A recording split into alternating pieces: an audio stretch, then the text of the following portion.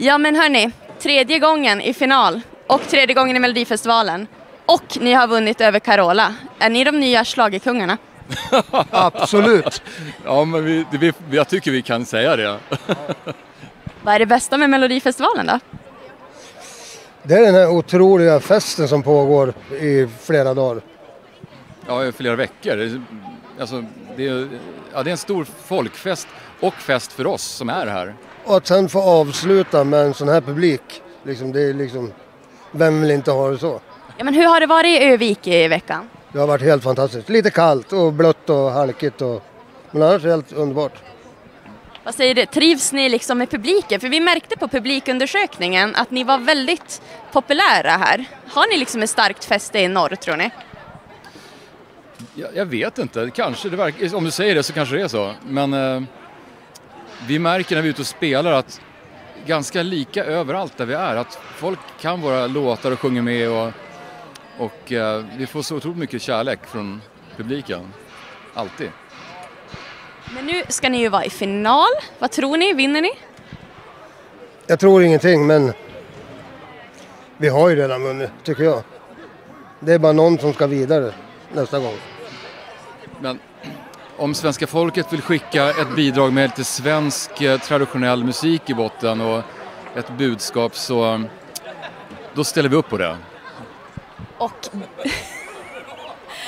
blir det en fjärde gång då i Melodifestivalen?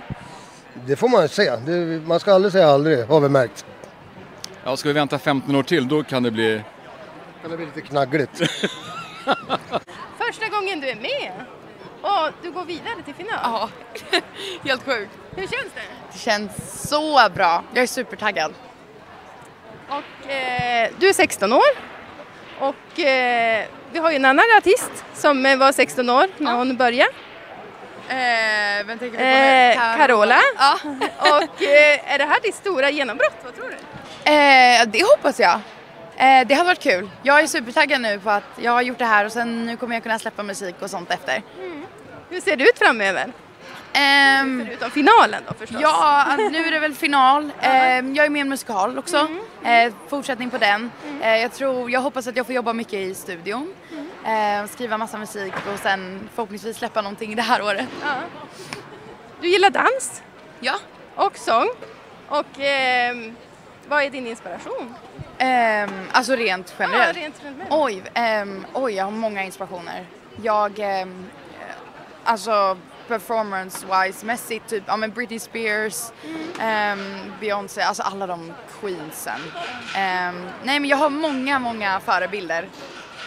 Härligt. Eh, hur har det varit här i eh, Övik nu då?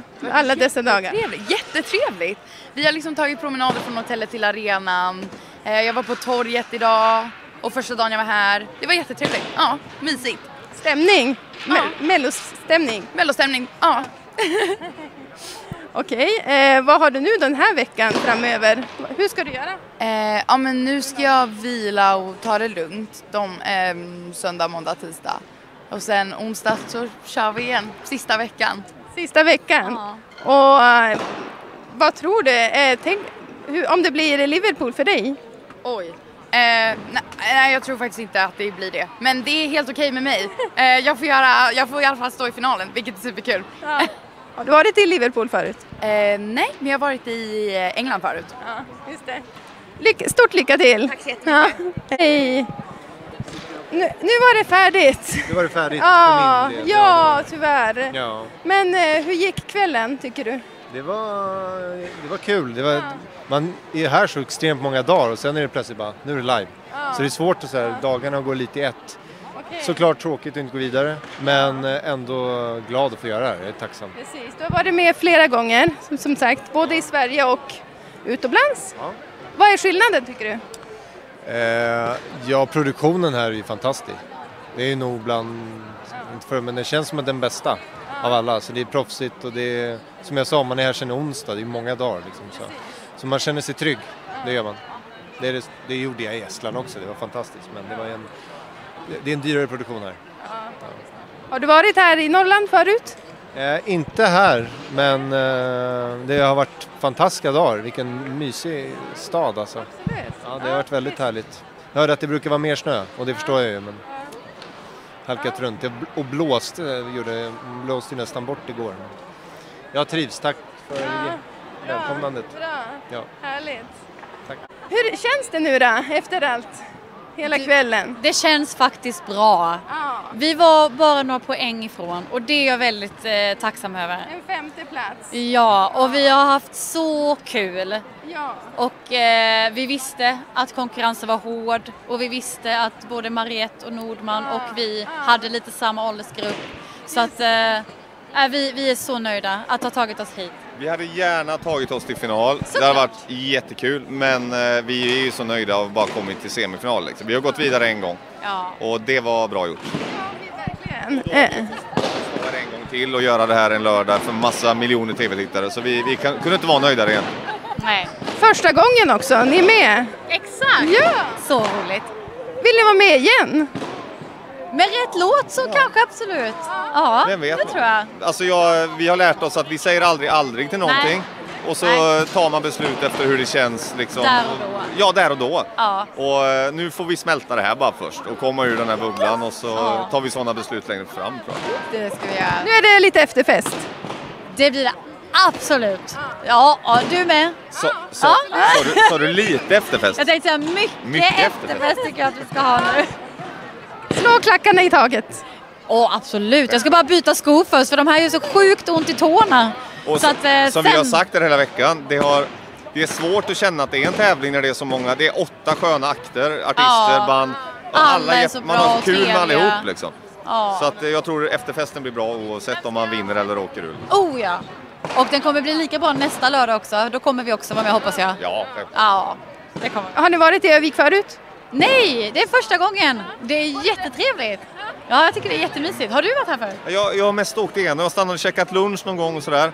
Eh, jag känner igen backhoppningsbacken, den har man sett många gånger. Mm. Eh, men jag tror aldrig jag har varit här och spelat innan Nej. heller. Nej. Första gången. Vi har haft det kanon i Övik alltså. Ja, det har Jätte, vi. jättebra.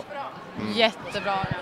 Ja men tack så mycket. Tack snälla. Ses vi. Ja men eh, nu är det ju så här att du gick inte till final. Men jag tycker du har varit den gladaste artisten hittills. Så, ja, men jag, jag, jag, jag känner mig som den gladaste artisten. Jag tror att för mig, jag vet hur det är som debutant och jag, menar, jag har haft många artister som är debutanter i den här tävlingen och det är svårt att bara ens ta sig vidare någonstans.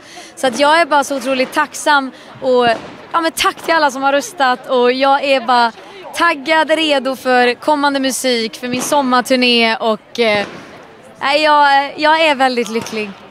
Vad har varit det roligaste med att vara med som artist i Melodifestivalen? Bara liksom att få sjunga ur sig varenda känsla i kroppen och få rikta det mot liksom, nu är det ju mycket mot kameran men jag bara, när man har lärt sig att ändå rikta det mot en publik, det är, det är en otroligt fin känsla. Så att eh, det är en kompott av mycket. Och du har ju själv varit med och skrivit en vinnarlåt. Har du någon favorit Melodifestivallåt genom tiderna? Alltså jag måste ju säga ändå Loreens Euphoria. Alltså det är ju liksom, det är oslagbart. Eller kanske slagbart i år. Får se hur vi slår det i år. Ja men precis, vem vinner i år? Loreen vinner i år. Och vad var det jag tänkte? Du pratade om sommarturné också. Berätta mer. Nej men eh, jag har ju varit så fokuserad på det här nu. Eh, så det enda är att jag har bara fått mail från mitt bokningsbolag och bara godkänt gig efter gig efter gig efter men jag vet, jag så här, nästa vecka ska jag bara, vart ska jag? Jag vet att jag ska till Höga Kusten. Eh, jag vet inte exakt datum. Och sen så eh, ska jag till Ystad, jag ska till Trollhättan, jag ska, alltså det är, så att det är, och det är det jag är så glad över för jag älskar ju att köra live. Och det här har ju öppnat dörrar till att jag ska få möta min publik äntligen och det är, det är därför jag gör det här. Men hur har det varit i Övik i veckan? Nej men det har varit fantastiskt. Jag har varit på en kulinarisk matupplevelse. Nej men så här, eh, i Lidköping så sa jag att, eh, författaren kom fram till mig och frågade vad, vad, känner du, vad tycker du om Övik? Jag bara, men de har, jag känner att de har bra mat. Och jag måste säga att Övik, ni har bra mat. Absolut. Alltså det här är inte public service så du får ju berätta vad det var för ställe. Nej men det alltså, nej men det, jag, jag, är det inte det? Jag tror ändå jag är i, i mellobubblan så att jag får nog inte säga. Då håller vi tyst. Ja. ja. Om ni går till höger och sen går ni till vänster. Så... Tack så mycket. Själv. Ska vi köra en spontan schlagerduell nu då? Ja, det kan vi göra. Gärna är det mellan oss två då eller? Ja. Ja, jag är redan körd. Så nu freestylar jag, så jag har domaren bakom kameran här. Eh, när vann Carola Melodifestivalen med Främling? Främling, hon kanske... Mm, vad kan det vara? 1979 gissar jag på. Måste vara senare. Eh, vad kan det vara? 85? Du var närmast, 83. Så kanske ett poäng då. Okej, men på tal om Carola. Nu ska ni utmana varandra i den snyggaste Carola-avslutningsposen. Får man använda micken? Då, då ska den vara här borta. Ja, där har vi den. Sen har vi mig här då.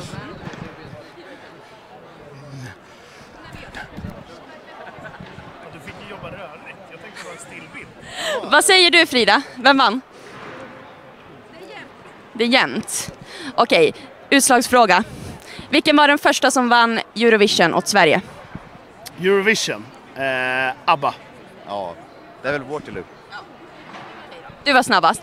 Men berätta lite, ni har ju som ett landsbygdsperspektiv ofta i det ni gör. Är det något som saknas i Melodifestivalen? Ja, men jag tycker det. Eller alltså både och. Typ så här äh, Nordman, Jon Henrik Fjällgren och sådana. De tilltalar ju den målgruppen men de kanske inte pratar ut om hur det är liksom, på landet. Så det är väl något som jag tror kommer bli mer av nu Och, eh, och sen, är det, sen är det väl också att vi representerar också mer, för de båda du sa nu är ju väldigt mycket vildmark och liksom eh, sådär. Vi är ju lite mer, de små städerna ute på landsbygden liksom är ju våran, vårat hem och där vi är vana vid liksom och där vi representerar. Ni fick åka EPA igår hörde jag. Ja, Jajamensan. det var skojsigt kul. Eh, vi var ju lite sjuka tyvärr, eh, så vi tog det ganska lugnt och eh, träffades mest utomhus där. Eh, så det vart inte riktigt den upplevelsen som vi hade hoppats på att så här, det skulle vara att vi festade på där en stund. Utan vi var där en sväng, hälsade på alla och sånt. Eh, och sen eh, vart det sömn. ja. Men vad har varit det bästa med att vara med i Melodifestivalen för första gången? Eh, nej men det är, alltså, vi har ju typ verkat utanför media och utanför eh, skivbolag och allt sånt där. Nu har vi jobbat med skivbolag och media och allt sånt där. Prova på allt det. Har varit väldigt kul. Så det har varit väldigt kul att få vara i den eh, berömda bubblan. Och vem vinner den här bubblan då? Eh, Lo, hur får man säga nu då? Loreen. Du Ja, säger Eh, Loreen. Loreen. Ja. Toppen, tack så mycket! Melodifestivalklubben här, hej! Åh, grattis! Du är vidare. Yes, tack så mycket. Hur har den här, de här dagarna i Övik varit? Nej, men de har varit underbara. Jag, jag trivs här.